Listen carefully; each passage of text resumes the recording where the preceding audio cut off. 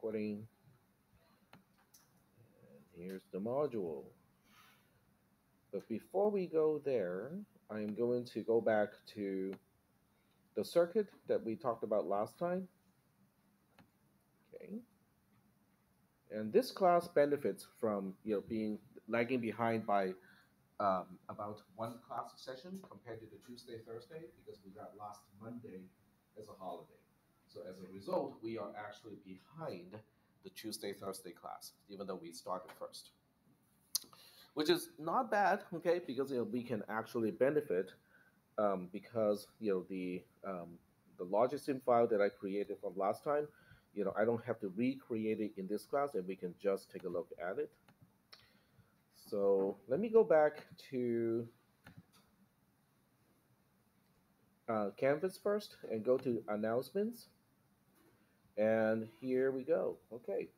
So I posted this on September 7th um, to remind people you know, what we are going to talk about today.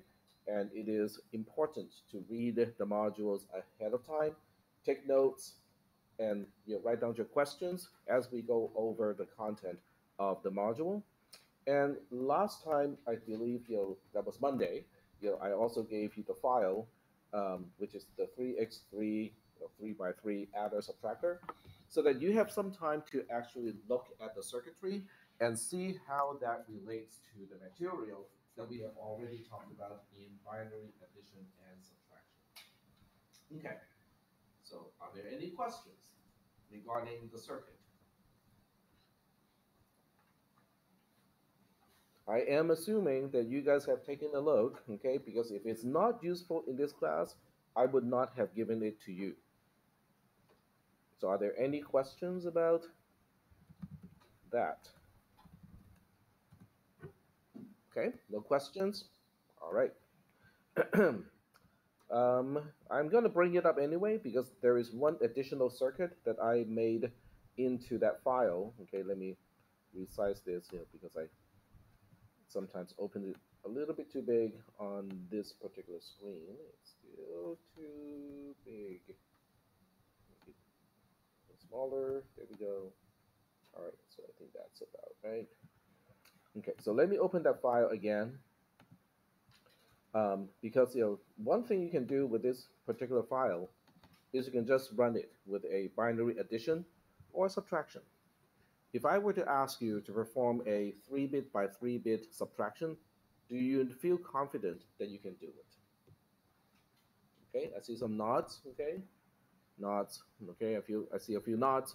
But if you're not confident about doing that, then you probably want to learn how to do it, okay?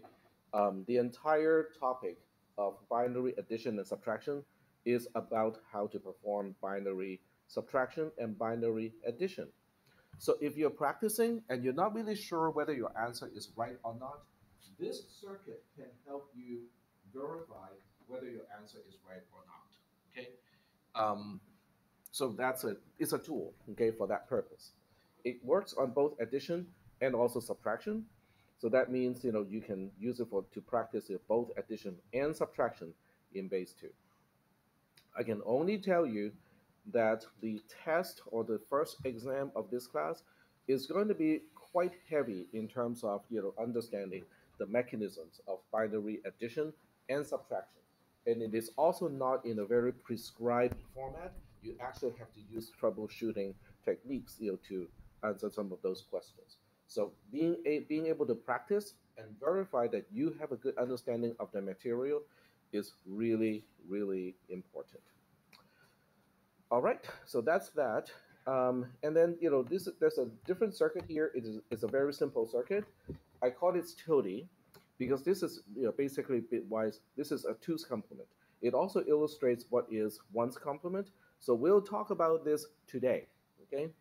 So if you're thinking, oh, I know what is one's complement, I know what is two's complement because I read the signed versus unsigned module already, and I kind of get an idea what it is, great, okay? Because you know that means you, know, you have already pre-read the module, at least to the point that you have encountered, and remember that you have encountered the terms of one's complement versus two's complement, okay? that is kind of what I'm expecting. Okay, you know, is people have already read the module before class so that they have a general idea of what I'm going to talk about. Maybe have some questions about the technic technical side of how things are derived and also the math background of you know the um, talk of the uh, of the module. So I'm repeating all of this stuff here. Okay, repeat you know again and again because it is important. Okay, because if you're going if you're studying in a four-year university, that is also what your professors would expect you to do. But those classes go faster than my classes. All right. So what we're going to do is we are going to talk about um, signed versus unsigned integer representation. Um, the first thing is, why do we need to do that? We already know how to represent um, values, okay, you know, because of the base conversion module. So from the base conversion module, let me just kind of test whether you guys know how to do this or not. Um, let me see if Joplin is already up. If it's not, I can start it. So I'll give you a few cases of, you know, you can tell me what you know, each one is representing. So there we go. um, Joplin Okay. So I'm pulling Joplin into the onto the projected projected side, and I'm going to go to CISP 310. This is section 12220. So I'm going to go to notes here and make a new one for today. So it is, oh, okay, let me just type this, 2024-09. Today is the 11th. Okay, there we go and then hide these two. Okay, so I'm going to give you a binary number, and you tell me what value it is representing. Uh, we'll start with something simple, like this. Okay, you can focus on the right-hand side. So what is that binary number representing? What value is it representing? Okay, we got the right answer here. It is representing the quantity of 2. Okay, so that's pretty easy. Um, and let's take a look at another one, and then we'll move forward with the stuff that we are going to talk about today. What about this one? 1101. Yes? Oh, sure. Absolutely. Let me go to, I think the control plus you know, still works here. There we go. A little better? Okay. Um, you can also consider sitting kind of up more up front, you know, that way your, your distance is uh, shorter to the screen. All right. So what about 1101? What do you think is the value being represented by the binary number of 1101? Go ahead. It is not 9. 13. It's 13, okay? So how do we get to 13? Because this is how we read numbers. It doesn't matter what the base is, because, okay, I know some of you are going to say, Tak, don't say that again. I'm going to say it again. Each digit is representing the quantity of a power of the base, you know, and the exponent is dictated by the position of the digit. Okay? Um, if every time I say this, I put a quarter in the jar, I'll be a rich man. if you if you understand what I just said, that's good. Okay, that means you have been paying attention and you're already counting Tak. This is like the fifth time you say this. On the other hand, for people who are going like, I have no idea what you're talking about, I would be very concerned at this point of this class. Anyway, so this one is telling us how many 2 to the power of 0 do we have, because this is digit 0. This is telling us that we have none of 2 to the power of 1. Well, 2 to the power of 1 is just 2, so we don't have a 2. This one is telling us that we have 1 of 2 to the power of 2, oh, excuse me, this is 2 to the power of 1, this is 2 to the power of 2, and 2 to the power of 2 is 4, we have 1 of 4, and this is 1 of 8. So we just have to add up 8, 4, and 1, and they add up to 13. Is that okay? So that's kind of the basics of base conversion. But because of that equation, okay, so let me kind of quote the equation here. Um, you can probably just kind of go back to the notes and find it too. So the equation um, that I used here is i going from, um, in this case, I'll just you know going from zero to um, you know some number w minus one. W is the width of the integer. So this time I'm not going to go for negative infinity to positive infinity because you know I just want to work with like in this case w equals to 4 because you know, w is the width of the integer in, in both of the examples for today the width is 4 okay there are 4 bits or 4 digits and what we are summing would be digit i okay which is basically saying okay digit 0 digit 1 digit 2 digit 3 times okay and I'm going to use a uh, dot here Oh, it doesn't like that. Okay. Oh, because of the space, it doesn't like this extra space at the end. So times 2 to the power of, now we can do the space, 2 to the power of i. Does that look familiar to you? Maybe not exactly the same, but you know, I think we have talked about this particular sigma notation a few times already. So when you look at this you know, sigma notation, is there a chance that we can represent negative values? No, there's not a single chance that we can represent negative values because the digits are always non-negative, right? Because the digits in base 2 are either a 0 or a 1. There's no negative 1. What about the powers of 2? Well, the power of 2 can never be negative anyway okay? Because it doesn't matter whether it's 2 to the power of negative something, because that just makes a fraction, but it is still non-negative. So that means when you look at the summation of each of each one of these terms, there's no way we can represent negative values. So are we good with that? Are we understanding, you know, this is good, it is useful, but what about negative values? We cannot represent negative values this way. So what we are going to talk about today is so if this is not going to help us to represent negative values, how do we actually represent negative values? So are we understanding the context of today's lecture, the main point, okay? And we already know that computers can do that because in C++, okay, in a previous class in CISP 360, there's the distinction between the unsigned type, which can only represent non-negative values, versus int, which can represent both negative and positive integers. So we know that the computer can do it. The question is, how does it do it? Yes? Uh, unsigned signed integers, mm -hmm. which, if I integer uses the leftmost bit to represent negative and positive.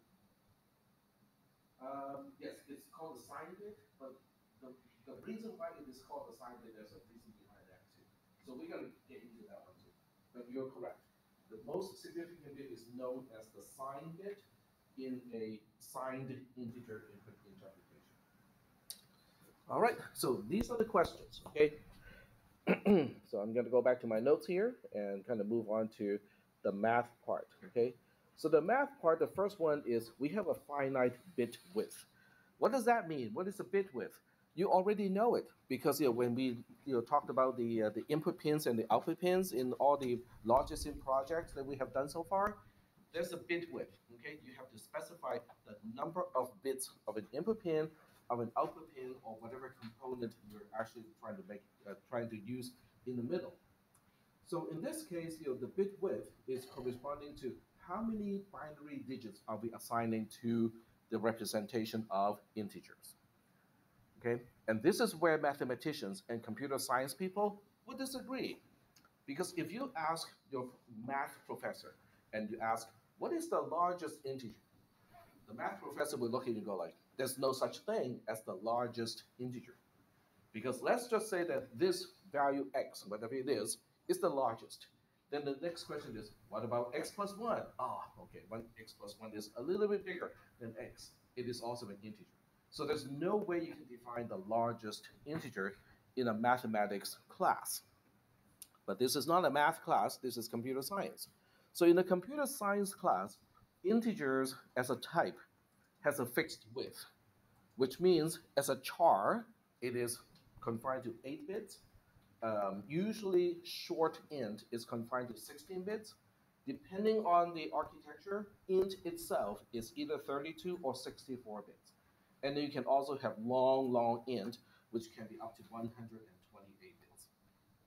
Okay? 128 bits is a lot of zeros and ones, right? But is it finite? Yep, it is still finite. So as long as the number of bits is finite, there's a largest thing it can represent and there's a smallest thing it can represent. If I were to switch back to this here, and this time, you know, I make, you know, okay, so focus on the right-hand side.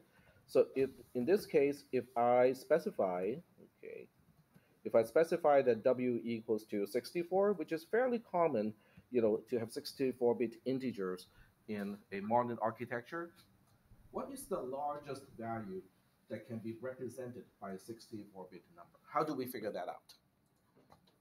It doesn't have to be a super fast way to figure it out. Tell me your a way, just one way, to figure out what is the largest value unsigned that you can represent using 64 bits. Only using things that are on the screen already. So you don't have to kind of go like, okay, what is the trickiest way to do this? Nope, just use the things that we have talked about so far. How, how would you go about doing it? Yep. Hmm? Just two to the power of whatever number we're looking at? Um, you mean two to the power of w? Sorry. Yeah, w is the width. Okay. Yeah. Sorry, so sorry, sorry.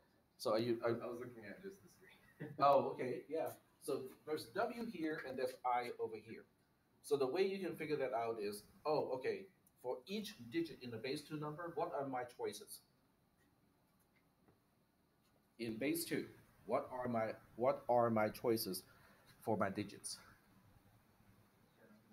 Zero and one. Very good. And which one is the larger one? One. Okay, very good. So that means you know the largest value coming out of this sigma notation is having all the d of i's being ones. Okay. So now what are we looking at? So now we are looking at um, okay. So we'll go. I'll go ahead and make this here. So we'll say the largest value unsigned. Oops is 1 because you know that's 1 times 2 to the power of 0 plus 2 plus 4 whoops plus 4 plus a plus blah blah blah okay? Does that make sense to you? The question is when do we stop? Oh i know when, when we're going to stop because we're going to stop when i equals to w minus 1 so if that is the case you know i can just you know go ahead and specify that when we stop, we are looking at 2 to the power of w minus 1. Okay, and w is supposed to be lowercase, so change that to, whoops, lowercase, whoop, caps lock, that's why. There we go. Is that okay? So given that we are only using 64 bits, that means we are adding 1, 2, 4, 8, all the way up to 2 to the power of 63.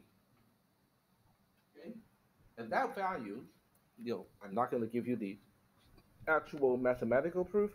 That value turns out to be just your 2 to the power of w, the whole thing minus 1. Okay?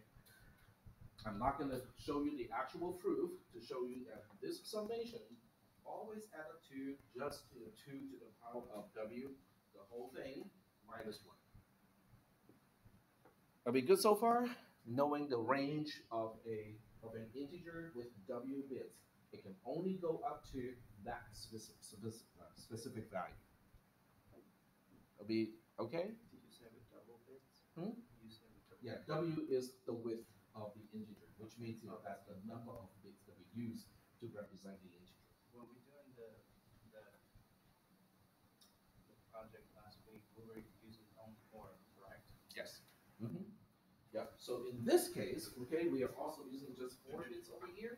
So when we plug in w equals to four, that means we can only represent up to and including two to the power of four, which is sixteen, minus one, which is fifteen. So fifteen is the largest value that we can represent when we're only given four bits. Is that okay? All right. so getting back to the slide here. So the next thing is, um, you know, what about 19? Uh, Can 19 be represented using four bits? So the answer to that question is yes and no. Okay, you know, don't you like those answers? Yeah, it's yes and no. You know, well, it's yes and no because it depends on how you look at numbers, how you look at values. So what we'll do next is to define you know the notion of uh, modulo congruent modulo n. Okay, that's a term that we are going to use at least you know for this class and also for the next class. So let me say that one more time. Okay, that term is called congruent modulo n. What does that mean? Okay, so we'll go ahead and take a look at the definition. If you look up congruent modulo in Wikipedia, this is the definition. This is a notation. That's all it is. Okay, it is a notation. This is my notation because I don't like to type all that stuff. You know, I just put a subscript of n with three bars. Okay, so it's not an equality. Three bars followed by n as a subscript is saying exactly congruent modulo n. It is just a notation. It does not define what it is. It simply says when you see this symbol, it means congruent modulo n. But what does it mean? The third bullet point is the definition of what is congruent modulo n. So if we say that A is congruent modulo nb, or A and B are congruent modulo n, it means exactly this, okay? So now we look at this and go like, okay, what does that mean? Well, there's a little bit more to it. For some integers, ka, kb, and for some integer v, such that v is between 0 and n. It is larger than or greater is greater than or equal to zero, which means it can start with zero, but it, it cannot be n. It has to be less than n. Okay, so these are the constraints. That is not helpful, is it? Okay, because I just gave you a bunch of symbols, a lot of math stuff, and um, they're fairly abstract.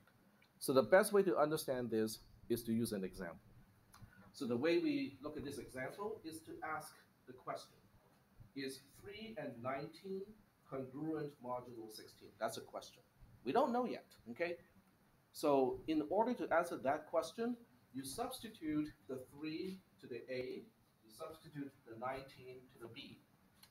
And then you want to find a value for V so that A equals to V plus blah blah, and V, B equals to blah blah, V plus blah blah.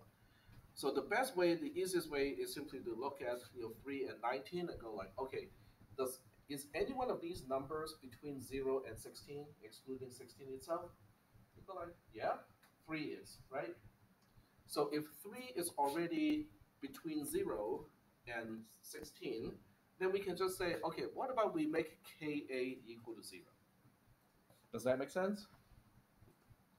Okay, so just look at this. 3 equals to 3 plus 0 times 16. Does, is that true? Okay, so that means we have found k of a to make this whole thing true, and we have also found v. So now the next question is, if I look at b as 19, I look at v as 3, I look at n as 16, can I find an integer k of b to make this equality happen? What do you think?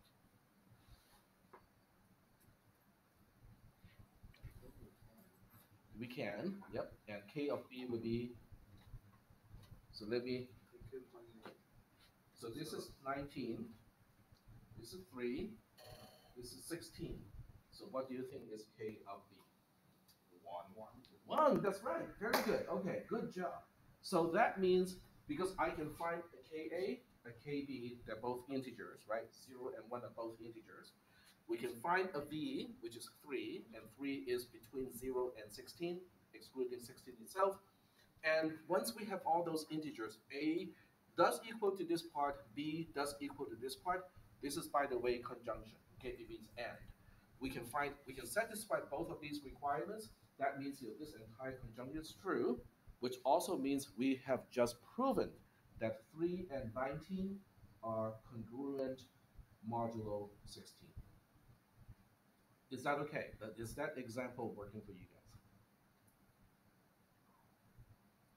I think it, explains the definition, uh, I'm, I'm still confused on why would, why would we use this? Oh, because we need to, we need to figure out how to represent negative numbers. Okay, that's a very good question. I'm so glad that you asked that question. Okay, the question was, why do we need to look into congruent modulo something? Okay, because it looks kind of stupid. Okay, why do I need to know that three and nineteen are congruent modulo sixteen? In other words, they are the same under certain conditions. Okay, when I look at three and nineteen in a certain way. So I'm going to ask you one question. Do you think k of b can be negative? Is anything in this definition that excludes negative numbers from being used for either ka or kb? Um, you can add a negative there. I Mm-hmm. don't know, I'm just looking at what I have from unless the B is a bigger number than what we have the calculation of KB. Mm-hmm, mm-hmm. So let me ask you this question. I'm going to switch back to um, Joplin. So I'm going to ask you this question. Okay. So this is a question we need to answer. The question is, um, let me take a look at the example here, because I, I want to use the example that we already have. So I'm going to ask you this. 13, and I cannot remember how I did the uh, the triple bar. I think it's equiv, but I want to be sure. So I mean, yeah, equiv. Okay. So equiv, and then underscore. Uh, in this case, 16. This and negative 3. So put a question mark here. Uh, okay, give me a second. Need to fix this because it's 16 need to be enclosed in braces. So once again, focus on the left hand side. So now I'm asking, is 13 and negative 3 congruent modulo 16? How can you be sure? Well, when you do the, when you plug in those into the calculation, it's gonna give you a negative value. Okay, so so the key here is okay. So let me, let me spell out the entire thought exercise. So in this case, A is 13 and B is negative 3. Is that okay? Unless Because- you put zero. Huh? Unless you put zero. Well, I mean, we'll, we'll, we'll, we'll work this out, okay? We'll work this out. Okay, but are we agreeing that, you know, this question is really asking, you know, the same question that we saw earlier, except A is 13 and B is negative 3? Okay, because those are the two numbers that I'm asking. Are these two congruent modulo 16? All right, so also using the same notation as, you know, in the, in the notes, n equals to 16 in this case because we're asking are they congruent modulo 16, so the n is 16. The way I'm doing this is I'm asking each of these questions is, okay, what about v? Okay, can we find v? In other words, of the two numbers that we are trying to figure out whether it's congruent modulo 16, is one of these numbers between 0 and excluding 16? You know, in, in other words, from 0 to 15. Which one? the 13, right? 13 is be, between 0 and 15. Okay, so we can now say, okay, we, we just solved, you know, what b is. It is just 13. So knowing all of these, okay, can I find k of a as a constant? So k of a as a constant is what? Now remember, k of a is, um, if we add 13 to k of a times 16, we should get 13 back. What is k of a?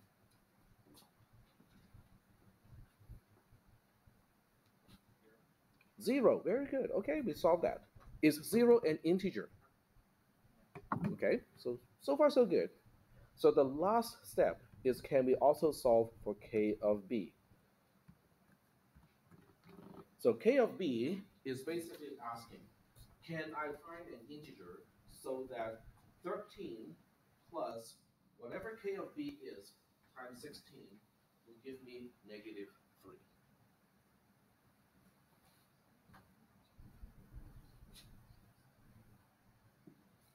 So I can I can also write the equation so it, it helps to visualize. So we are asking, we got negative 3 on this side. The question is, can I express negative 3 as 13 plus some kind of number, I'm putting a question mark here, times, uh, I'll use C dot, uh, 16. Can I solve for that question mark here? Minus one? Negative 1, very good. Okay, good job. Okay, so you just applied algebra without a piece of paper. That's good. Okay, you know that is good. A sense of number is always helpful in computer science. Okay, so we just solved it, right? We just solved the you know, k of b can be neg is negative one. Okay, so now the question is, is negative one an integer? It is an integer. So that means, oh, oh, so that means we just answer our question over here. 13 and negative 3 are indeed congruent modulo 16. They are quote unquote the same when we look at it in a certain way. Is that okay? So are we starting to answer the question that you had earlier? Why is this important?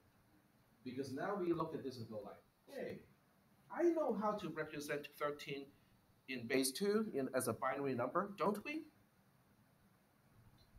Okay. Because all you have to do is to, I mean, you cannot see anymore because we scrolled a little bit. Because all we have to do is to go like, oh, but this is 13 as a base 2 number. So if negative 3 is modulo, congruent modulo 16, and we are dealing with, you know, uh, 16 is the largest value that we can represent using 4 bits, that means maybe these things are all related. Okay, now I'm not asking you to prove you know, how these things are related at this point. I'm asking you, can you intuitively kind of have all of these pieces and loosely connect the pieces and go like, okay, so on one hand, we have your 1101 in base 2 representing the integer of 13. On the other hand, we have we know that 16 is the large okay, excuse me, 15 is the largest value that you can represent using uh, 4 bits, okay? And the last piece is, oh, we have just shown that 13 and negative 3 are quote unquote the same thing. Oh, all of those pieces seem to be connectable. We are just not really sure about how are they all connected.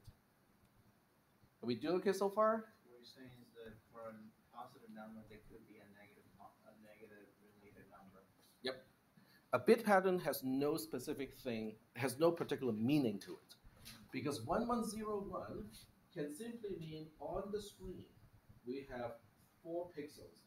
One is white, one is black, one is bright white again, and the other one is also white.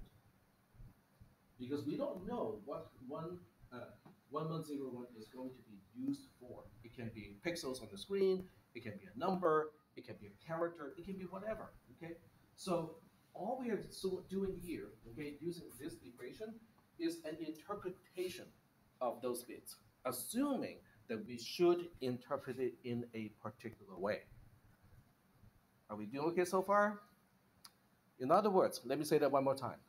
1101, okay, in that sequence, okay, simply means we have four bits, four binary digits, and the values of those four individual digits in base 2 are exactly just 1101. But what is it representing? We don't know. It can be a pixel. It can be four pixels in the monochrome screen. It can be a lot of things. In other words, the interpretation of those four bits is unknown. We are only asking about how, what are the different ways of interpreting those four bits. One way is to look at 1101 as 13. The other way is to interpret 1101 as negative 3. How does the computer know to use the 16 as the actual value for?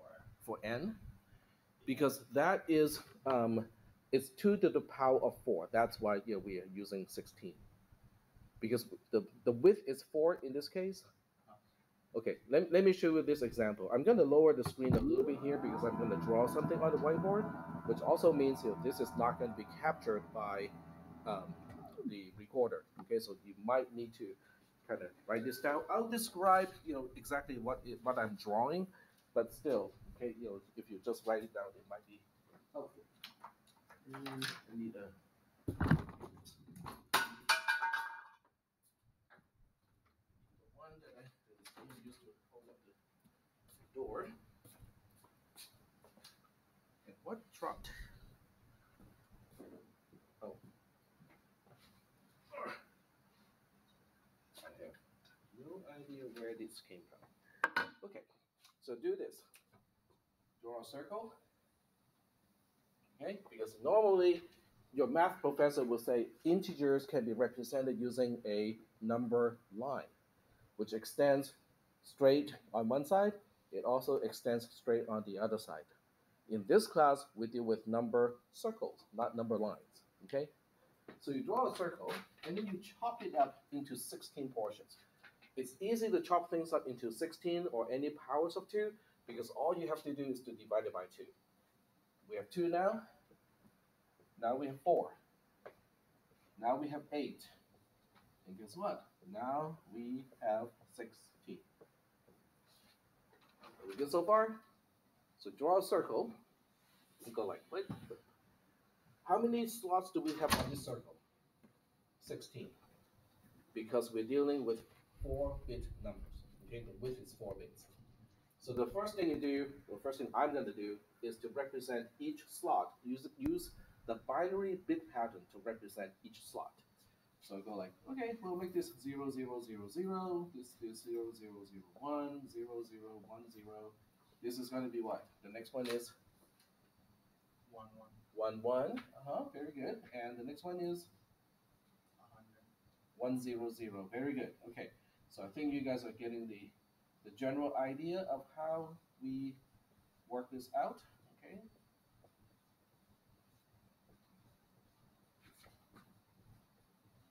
This is really tedious. Okay, and normally I don't do this, but I think it's good to do it at least once. One, one, one, zero, and then finally we have one, one, one, one. Are we doing okay so far with the binary representation of each slot? Is, is there a particular way that I assign, you know, the binary numbers to each slot on the wheel? Do you think there's a pattern to it? And if so, what is the pattern? Okay. Imagine that you have a you have an indicator, okay, which can basically rotate around the whole thing. Okay. If I rotate clockwise, what is happening? If you look at the number that the pointer is pointing to, and I'm rotating clockwise, what is happening to the number or the value represented by the thing that that is pointed to by the pointer? It's increasing. It's increment. Um, because I couldn't unlock it today. uh, it's better to be on time, so this way, you know, the door, you just come in as the rest of the class. All right, so when we are turning the, the pointer clockwise, we are increasing. Is that making any sense? Okay, because after all, this is one, this is two, this is three, this is four, and so on. What about counterclockwise? If I start pointing here to begin with, this is six, and now I point to here, and this is what? Five. So counterclockwise means decreasing, clockwise means increasing. Are we good so far? Okay. So we look at this and go like, okay, so if I were to use, let me use green here, to assign the interpretation of each bit pattern, well, that's pretty easy. I think 0, 0, 0, 0 representing 0 is not difficult to, nobody's going to challenge that. This is 1, this is 2, 3, 4, 5, 6, 7. I'm going to stop here. Okay, the reason why I stop here is like, um, what about this slot over here? What is it representing? Think about it, okay? This is 0 and then I turned it backwards, and you guys told me that turning counterclockwise is decreasing. Yes? Because what your response was recorded. you guys cannot go back and say, oh, we didn't say that. Yes, you said that. Okay, counterclockwise is decreasing. So what do you get counterclockwise when it was pointing to zero to begin with, and now we point to the one one one one? You get negative one.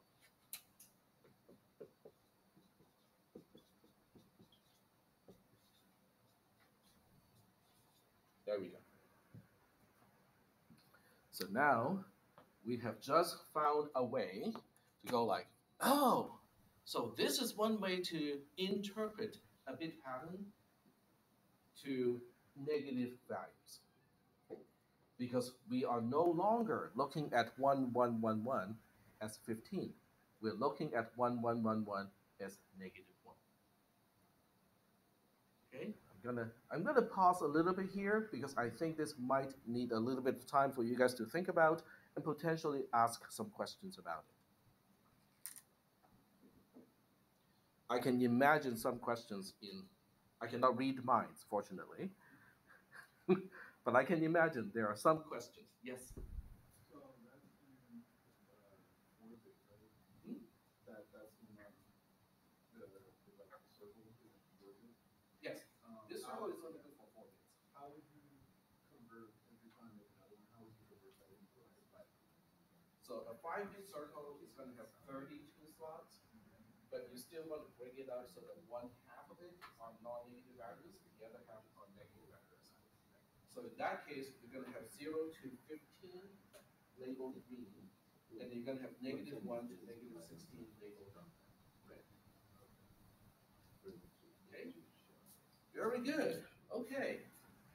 But I can imagine someone is going to have a question, okay, which is, um, so what do we know about 1111? Because it can be negative 1, but we can also, okay, I don't have a another color. Okay, let me see if I can actually find another color, because that would be good. Blue, that's what. Okay. So we now ask, but what about 15? If we use that slot for negative 1, then what happens to 15? This is why we talked about congruent modulo. Okay? Because 15 and negative 1 are quote unquote the same thing.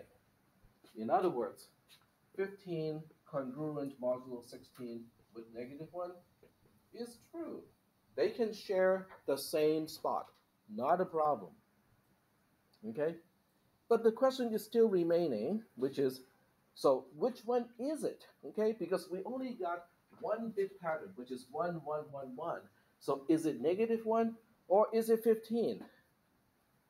Okay, I can see some of you are having that question in your head. Okay, so my response to that question is completely insensitive, which is, what do you care? okay, but really, what do you care? Why do you need to know whether 1111 is representing negative 1 or whether it is representing 15? Let me illustrate why it really does not matter in some cases. So we'll do some calculations, okay? Um, I can oh I can do it on the projector here. So keep that circle in your mind. I hope you wrote it down because you know that's actually quite important. It's one way to visualize what we are talking about in today's lecture. But I am going to give you an example in uh, in Joplin because you know this way I can just type it. Um, okay, right. So I want to look at a uh, calculation.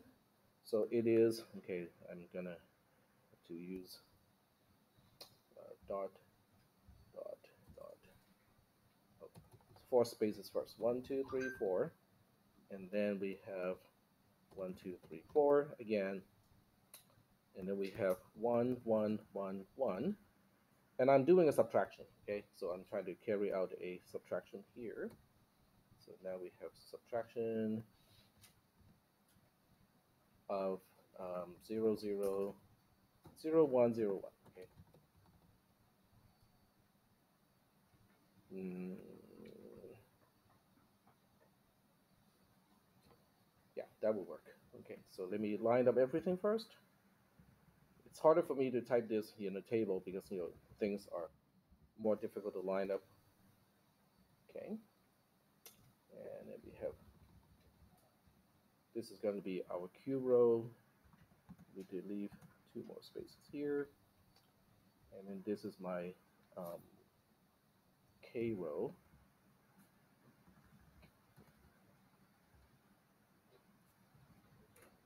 Or T row, actually.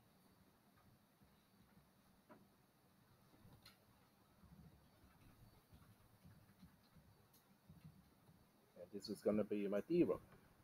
Okay, so you guys just have to focus on the right hand side. The left hand side doesn't have things aligned. Okay, so this is a good practice. How do we do binary subtraction? So let's go ahead and do, you know, perform this binary subtraction. And I need to put a dash, I guess, here to indicate this subtraction. And for this particular one, we can assume t of 0 is a 0 to begin with. Okay, let's do this. What is, um, what goes here? What is 1 minus 1? What is q of 0? What goes here?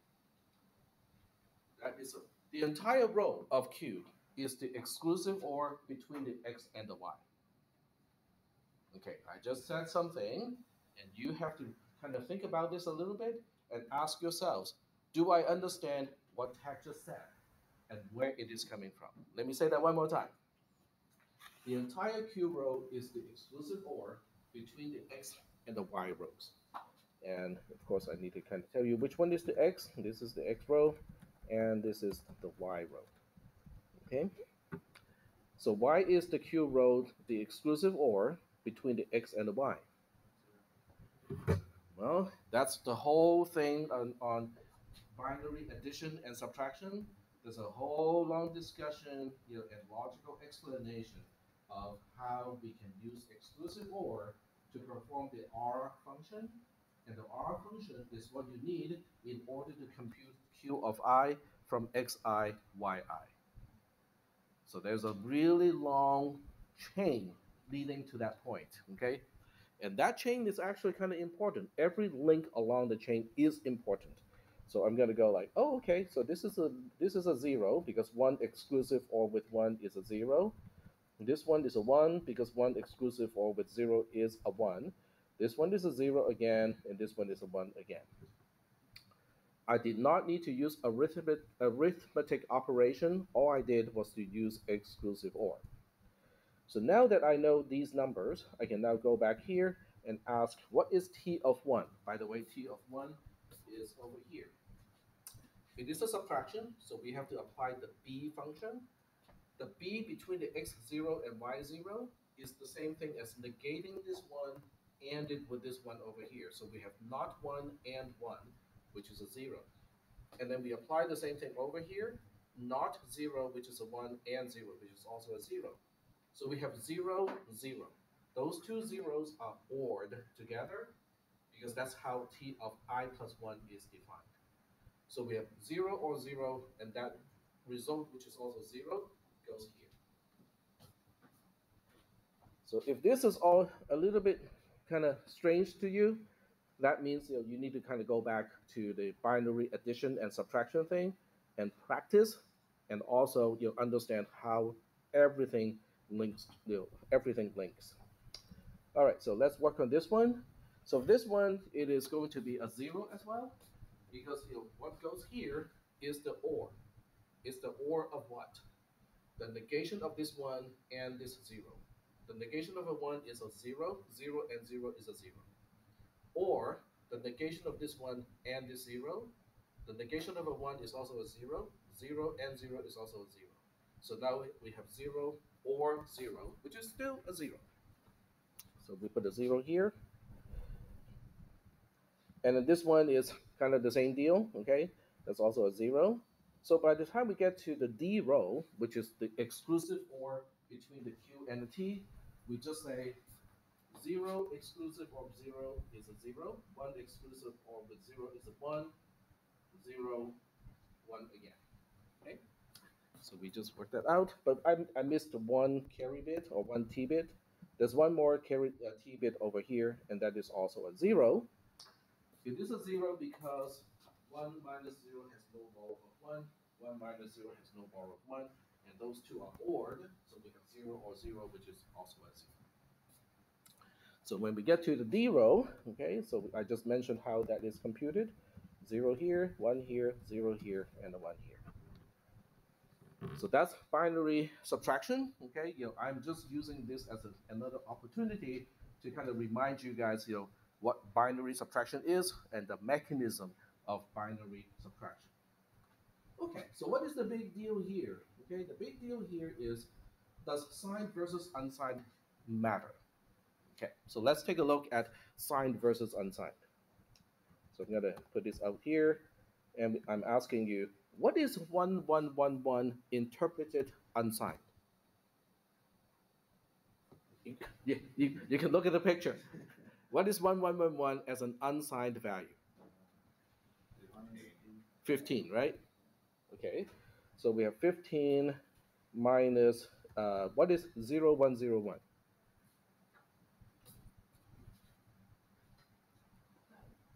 It's a 5. Very good. Um, and what is the result here? What is 1010? 10. Very good. Okay. There we go. Is that true? 15 minus 5 is a 10. That works out. Okay, cool. So now we look at this as uh, using the signed interpretation. So using the signed interpretation, what is 1111 representing? Look at the circle. Negative 1. 1, very good. Okay, so we have negative 1 minus 5 because the 5 is still just a 5 over here. And what about 1010? Look at the wheel. 1010 is down here. Okay, you guys, you, know, you may, it, it is blocked from, from some of you. Let me lower the chair again. Just because I like buttons. There you go. 1010 is what? Negative 6. Okay. So then we put a negative 6 here. Okay. Is that working out for you? Negative 1 minus 5, is that negative 6? That is why I asked the question earlier. What do you care? Because you don't have to. well, if we don't have to care, why are we even talking about this? Are you just wasting my time and wasting air in general?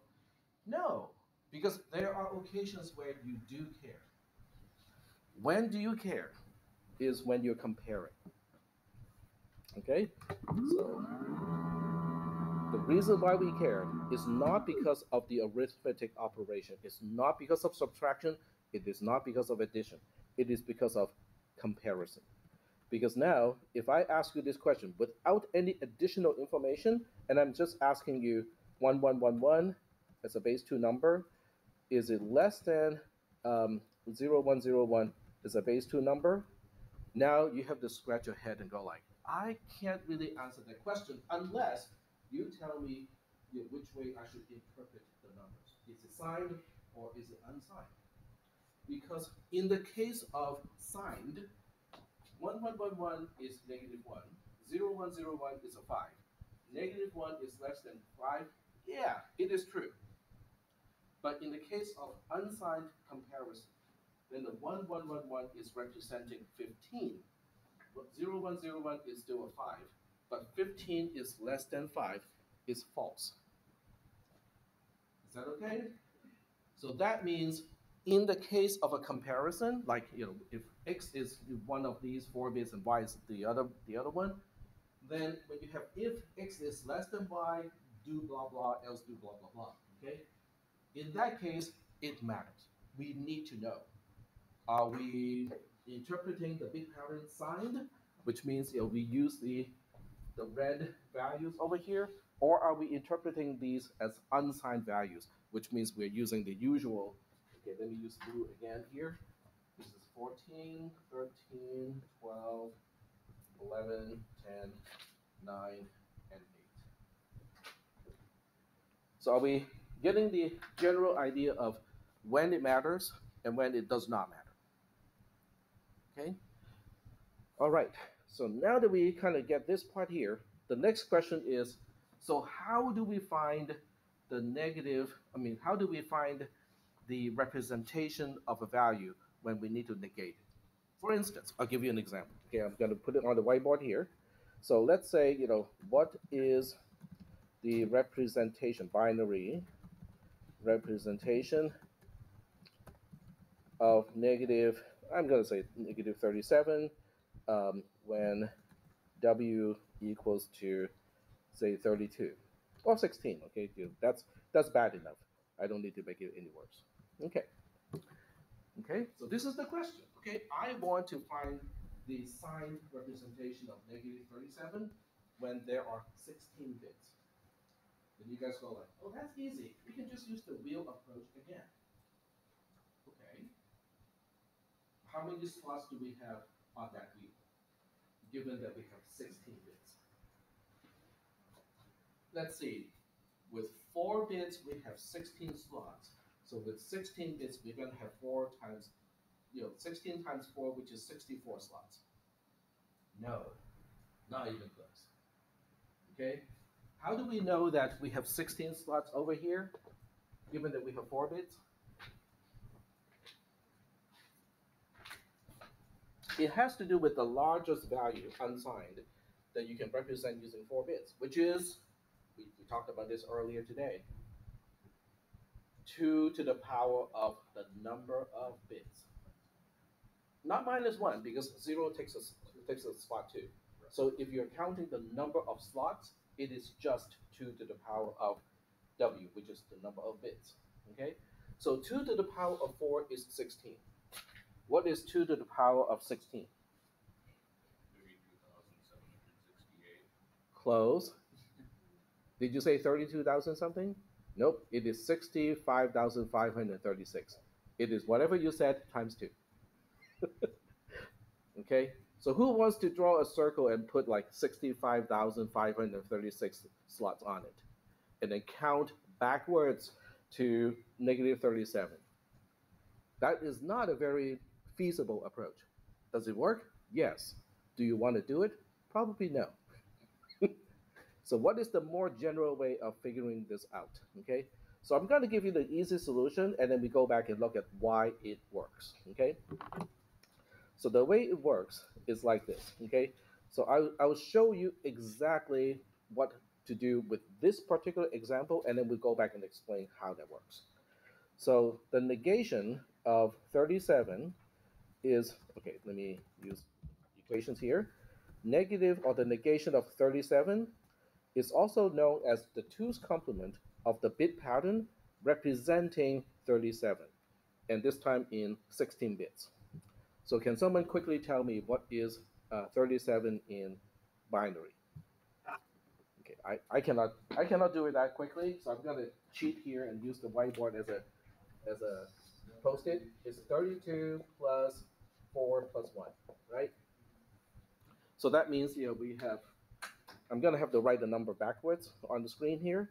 So we have one, none of two, one of four, none of 8, none of 16, 1 of 32. Okay? So 100101 as a base 2 number already represents um, 37. But I need to pad it with a bunch of zeros because everything is 16-bit wide. So this is using how many digits already? Six of them.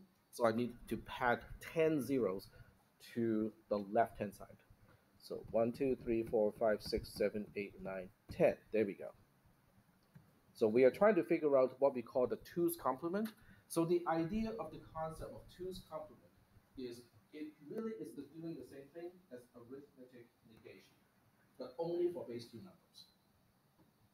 Okay? Is that concept okay? Now, I just made a claim. I didn't quite prove how it works, but I just made a claim. Do we understand the claim itself? Arithmetic negation, which is what this minus is representing, is the same thing as the two's complement function, which I have not yet explained. So I'm just establishing that. Are we good? And then the 37 is in binary, in the 16-bit binary number, is a bunch of zeros, 10 of them. and then followed by one zero zero one zero one. And that's because we did the conversion a little bit earlier like that. Okay, so two's complement in return is defined as one's complement of the same bit pattern. 1, 2, 3, 4, 5, 6, 7, 8, 9, 10, 1, 0, 0, 1, 0, 1 in base 2 plus 1. Okay? Great. You just defined your one complement, which is your two's complement, as a one's complement of something. What exactly is one's complement? One's complement is also known as bitwise not.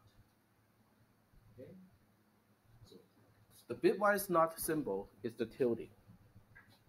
So in C and C++, this is known as just your tilde uh, of the bit pattern, which is 0, 0, 0, 0, 1, 2, 3, 4, 5, 6, 1, 0, 0, 1, 0, 1 in base 2. And the tilde did not show up here because it is has a special meaning in.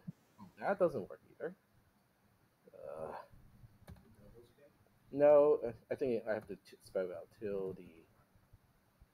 Nope. that doesn't like that either.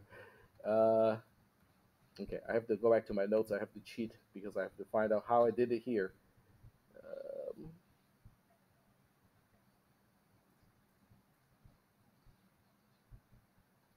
You passed that, tell me why. Right here. Sim. Who would know? I mean, why would it be called sim? Okay, fine, sim. Okay, and then plus one. Okay, don't forget the plus one because we still have to do that. Okay, so now the question is, what is tilde? What is bitwise not? What does it do? The easiest way to say it is it flips all the zeros into ones and all the ones into zeros. That's all it does. Okay? So then you look at this number here, basically all the zeros turn into ones, and all the ones turn into zeros.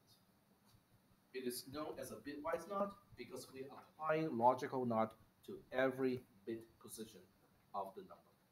Isn't that one right there four bits already by Hmm? itself? The one is in four bits by itself right there? The one, Yeah, plus one.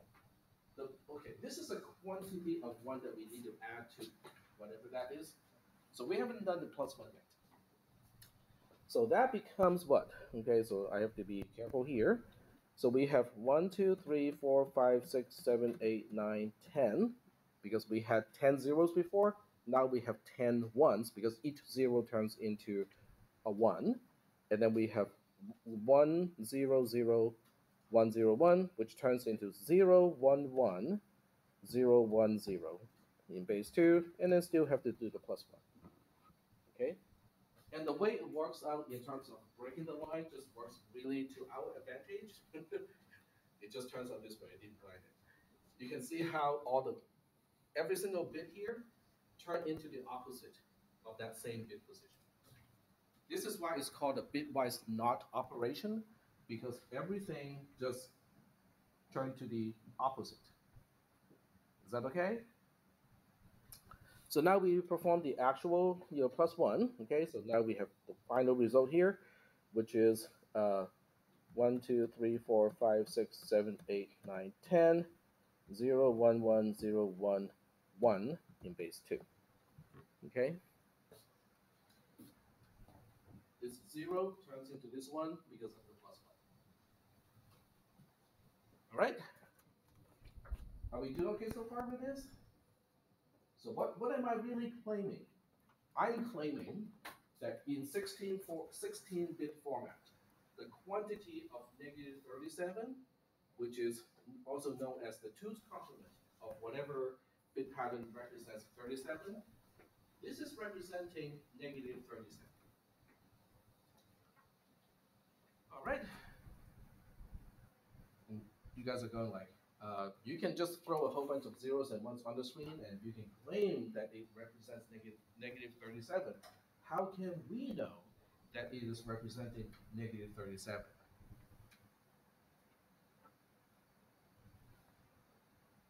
If I were you, I would ask that question in my head. okay, because you should not trust your professor and go like, yeah, my professor is telling me this, I'm just gonna write it down it's a fact. Always check it but how do you check it? Aha. You can convert it to base 10, but that's going to be really ugly because you have all these ones, right? So uh, what about this? What about I take the 2's complement of this entire bit pattern? What do you think I should get back? Okay, I, I'll, I'll present it here so that you know, we know exactly what we're dealing with. So if I were to take the two's complement of the number that we end up with, which is 1, 2, 3, 4, 5, 6, 7, 8, 9, 10, 0, 1, 1, 0, 1, 1 in base 2, what do you think we should get back here? I claim that this is representing negative 37. I also claim that 2's complement is the same thing as arithmetic negation. Yes? We get the thirty-six. No, I should get 37 back. 37. Because 2's complement is arithmetic negation. If you apply arithmetic negation twice, you get the original value back. The plus one is just part of the process. It has to be there. Is that okay? All right. So the question is now, okay, do I get the original number back, which is 10 zeros and then followed by 100, 101? I think I made a mistake somewhere. Uh, maybe not. I think I, am good. Okay, so now we look at this and go like, okay, fine, we're going to do it the long way, which is one's complement of the same thing, 1, 0, 0, 1, 1, 1, 1, 1, 1, 1, 1, 1, 1, 0, 1, 1, 0, 1, 1 in base 2, plus 1, okay? Because the 2's complement is 1's complement plus 1. Okay, what did that translate to? Okay, we have to apply the bitwise not on the same bit pattern. Okay, 1, 1, 1, 1, 1, 1, 1, 1, 1, 1, 0, 1, 1, 0, 1, 1 in base 2. I can imagine a Barney sound, song made out of this entire derivation. if you don't know what Barney is, you know, well, it's okay. It's probably a good thing. Um, okay, so you know, what does that translate to? Well, okay, the, the tilde, okay, this tilde operator is really just saying, oh, all the ones turn into zeros, all the zeros turn into ones, okay? So we're going to do that. So we get 0, 0, 0, 0, 0, 0, 0, 0. Okay, am I missing one? Yep, okay. And then we have 1, 0, 0, 1, 0, 0 in base 2. And then the plus 1 is still there, okay? I forgot. Nope, I got, I got it. Focus on the right hand side. Are, are we still doing okay so far with where this is going? I hope so. Okay. So what is after the addition? What do we back? What do we get? What do we get back? One, two, three, four, five. One, two, three, four, five. One, zero, zero, one, zero, one in base two because we are adding one to this whole thing and because that. And magically, we got the original thing back, which is what value it, what value was it representing? Let's double check, make sure that we didn't miss anything. This is 1 plus 4 plus no 8, no 16, 32. 32 plus 4 is a 36. 36 plus 1 is 37. We got our 37 back. Is that okay? Does everybody understand what just happened?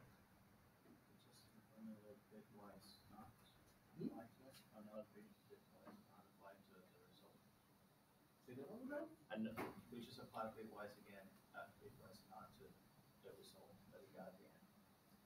Well, what I did was I, okay, so let me scroll all the way back to what we where we started. So the original question was, I want to find the representation of negative 37. I know that 2's complement is doing the same thing as arithmetic negation in base 2 using the signed representation. This part here is just 37. So that means you know the 2's complement of whatever is representing 37 should be the two should be the representation of negative 37. So the 2's complement of something is defined as the 1's complement of the same thing plus 1. The 1's complement of something is defined as the bitwise NOT of that thing, which is simply flipping all the ones into zeros and all the zeros into ones. And then once we get this, we add the 1 to it, and we end up with this pattern here. So at this point, I, my claim is this bit pattern here, the 16-bit bit pattern, is the representation of negative 37. Is that is that part okay? This is how we figure out what negative 37 would look like as a 16-bit signed integer. Is that part okay?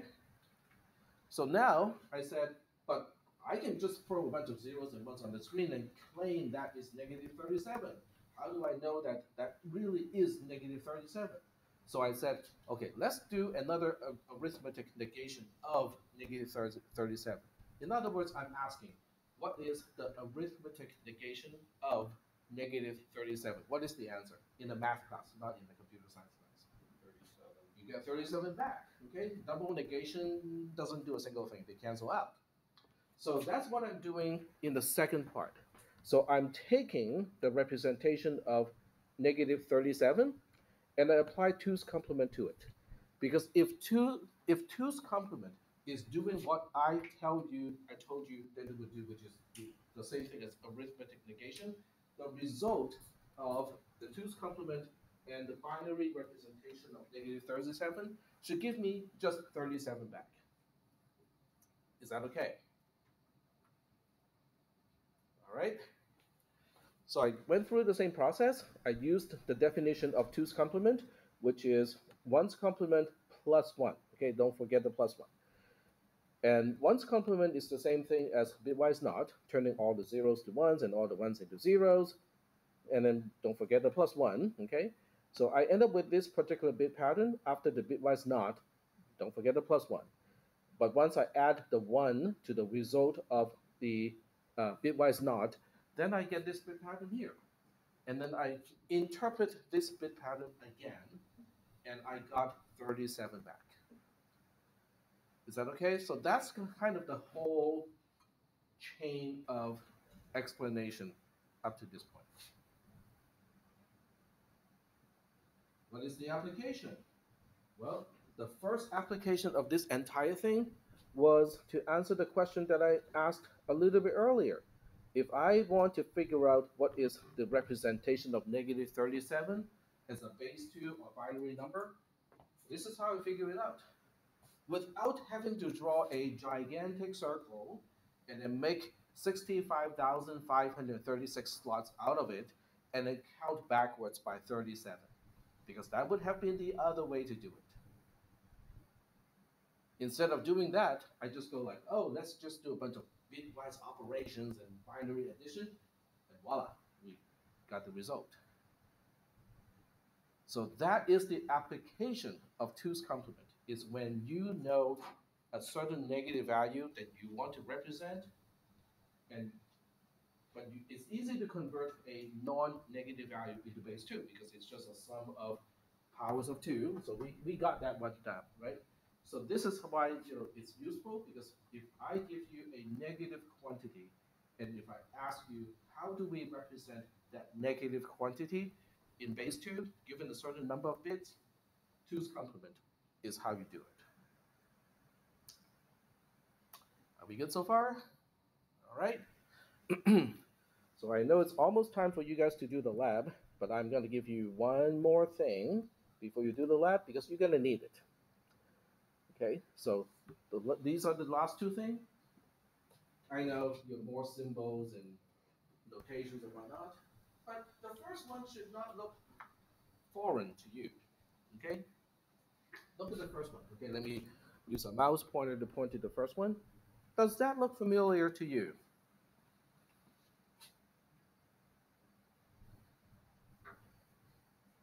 If you have been in this class for the past, what, 80 minutes or so, you go like, yes, we recognize this. This is exactly what we had earlier.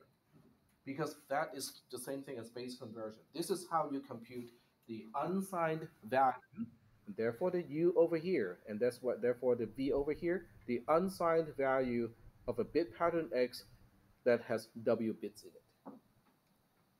Is that okay? Okay, let me let me switch back to to Joplin because you know, I want to remind you guys where we saw it in the first place today. It's right here. Okay, fine. I use D instead of X over here. Same idea. Okay, so this is nothing new. Okay, this is for if I give you a certain bit pattern and I say, okay, interpret that, that bit pattern up to W bits. This is how you figure out the value, the unsigned value of that bit pattern. The next one is for signed value interpretation. Why do we know that? Because instead of a U for unsigned, we have an S here for signed. So this is the signed value interpretation of X as a bit pattern up to W bits. So W is still the width of the bit pattern. You look at this and go like, isn't that almost the same? It is almost the same. Except the, the sigma notation only goes up to W minus 2, which means we interpret all the bits using the sigma notation except for the most significant bit. Because the most significant bit is bit W minus 1.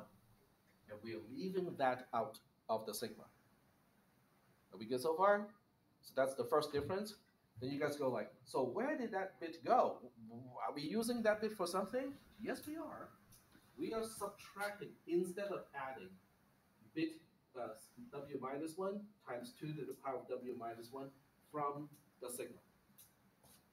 Okay, so I'm going to give you an example on the whiteboard. Okay, so we'll take a look at the, the 1101, okay, as a 4-bit pattern. Okay, you go like, not that again. Yes, that again. Because we are so familiar with this bit pattern already, why not use it again, right? So I want to figure out what is the sign interpretation of this. This is how we apply VS. Okay, we apply VS by actually you know, putting a bit pattern here and specify how wide we want to interpret for that particular bit pattern. All right. So can someone answer this question? What is what does this translate to?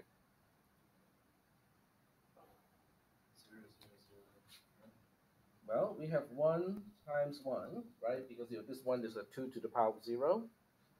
We have 0 times 2, because this 2 is 2 to the power of 1. And then we have this one over here, which is uh, 1 times 2 to the power of 2, which is a 4. So I'm just going to write a 4 instead of 2 to the power of 2. Right?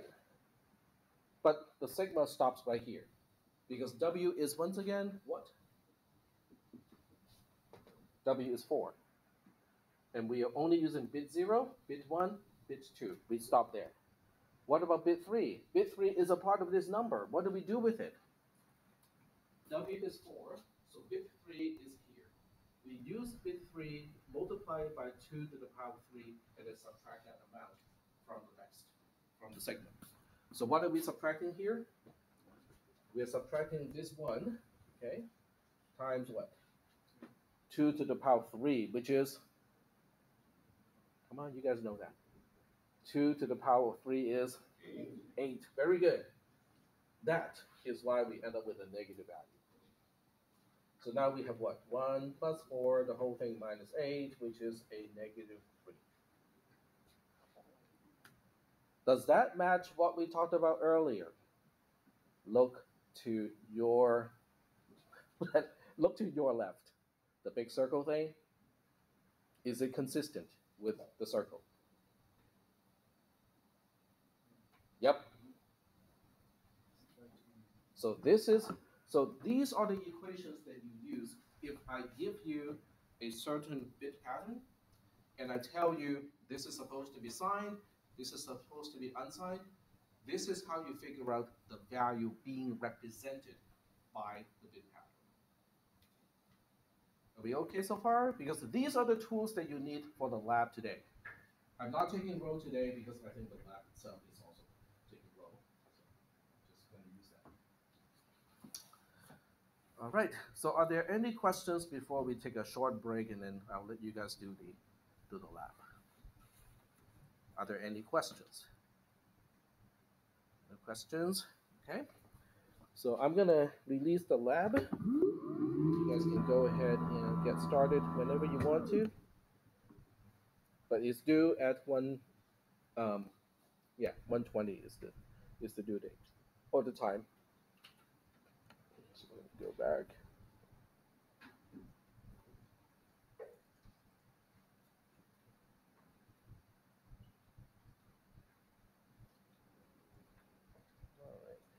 Where are we? We are at. I skipped some labs and some discussions because I thought you know those are not as important, so they, those were skipped. So this is the lab. It's called you know just two's complement, and the access code is negative. So I'm gonna write it on the whiteboard too, so you guys can refer to it. Negative is the access code.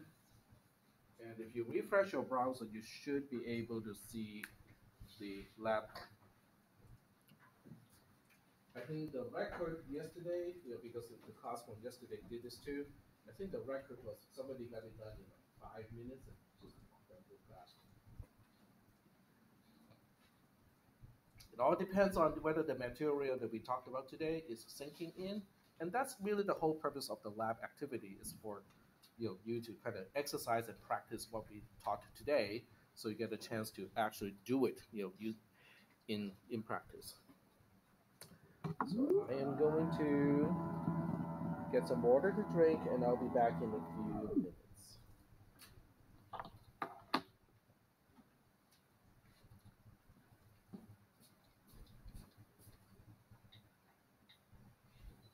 Stop the recorder, upload the video before I leave.